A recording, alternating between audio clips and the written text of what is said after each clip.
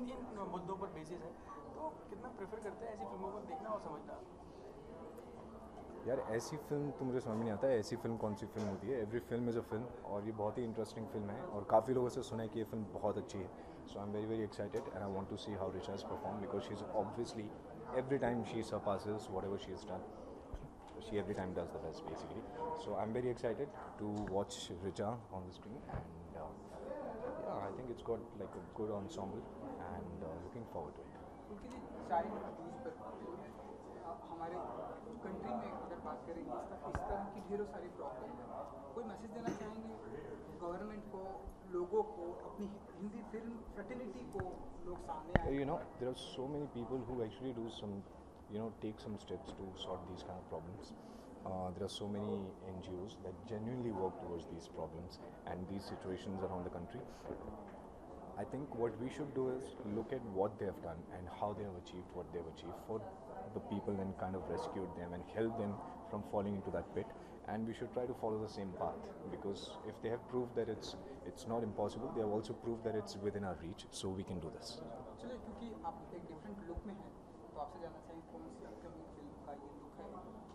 नहीं नहीं ये तो महँगाई हो गई है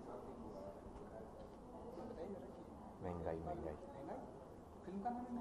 नहीं नहीं ये लाइफ में महँगाई है ओके समय सर एक आपको ओपिनियन जानना चाहूँगा आपने सुना ही होगा कि आर के स्टूडियो बिकने जा रहा है जी। तो अ, बहुत से आर्टिस्ट लोग ने एक मुनीम छेड़ी है हैश टैग बिकने नहीं देंगे क्योंकि it's an one of the monument of our Bollywood.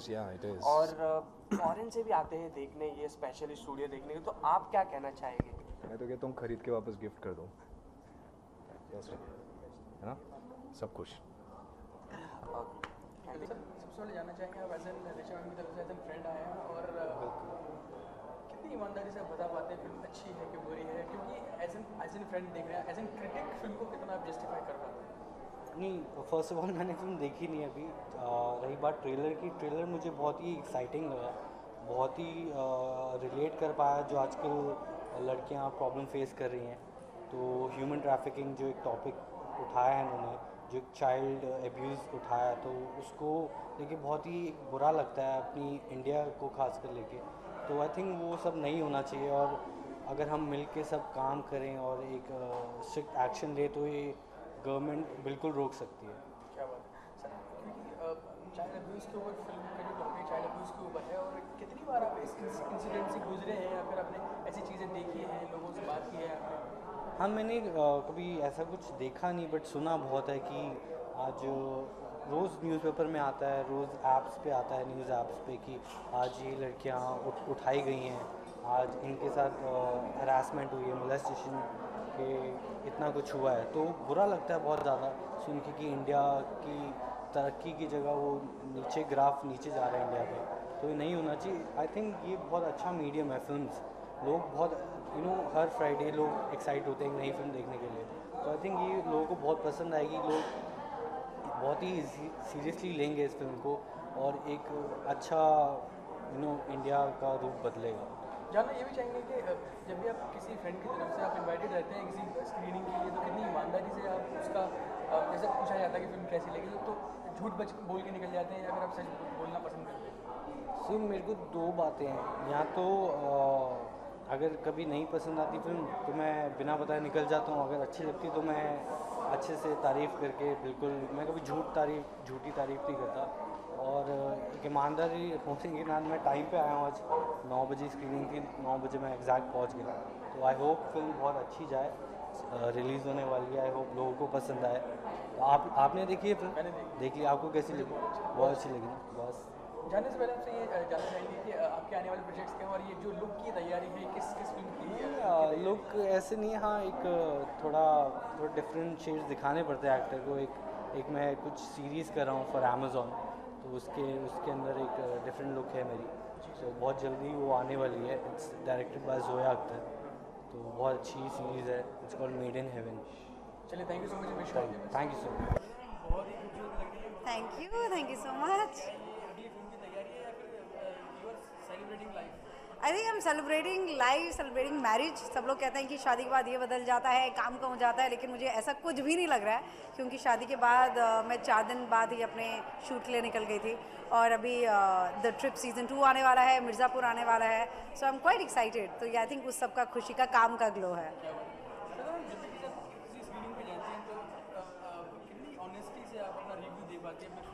इसलिए मैं ज़्यादा स्क्रीनिंग्स पे जाती नहीं हूँ एक्चुअली क्योंकि मैं उन्हीं स्क्रीनिंग्स पे जाती हूँ जो फ़िल्म मुझे एक्चुअली देखनी होती हैं। एंड लव सोनिया का जब मैंने ट्रेलर देखा था, एक तो Richa Chadha I am very very close to her I love her as a human being और एज एन एक्टर तो हम सबको पता ही है।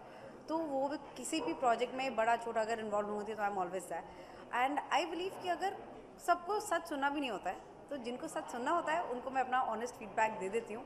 और ट्राई करती हूँ कि जितना मीठा हो सके उस तरह से बोल दूँ पर सच बोलूँ।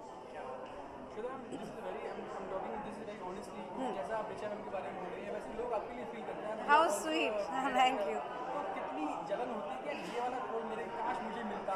नहीं जलन तो जायज़ है लेकिन मुझे लड़कियों से ज़्यादा लड़कों से जलन होती है कि मतलब ये वाला रोल लड़कियों के लिए क्यों नहीं लिखते हैं? बाजीराव तो बाजीराव या गैंग्स ऑफ़ वासिफ और नवाजुद्दीन सिद्दीकी ले लीजिए या फिर रॉकस्टार में आप रणबीर कपूर।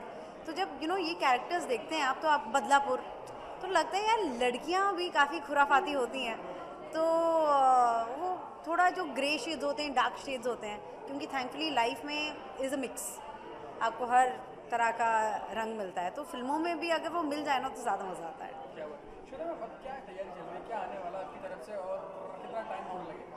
अब से actually the trip season two आ रहा है फिफ्थ अक्टूबर को। तो बहुत ही मज़ा आया वो शूट करने में। चार लड़कियों ने बहुत ही बहुत ही जो बॉन्डिंग हो एक होती है वो बहुत अच्छी हुई जो आपको दिखाई भी देगी। फिर उसके बाद मिर्ज़ापुर आ रहा है जो कि अमेजोन और एक्सेल की पेशकश है। और फिर उसके बाद मैंने एक तमिल फ़िल्म की है तो वो रिलीज़ होने वाली है सून तो काफ़ी काफ़ी कुछ।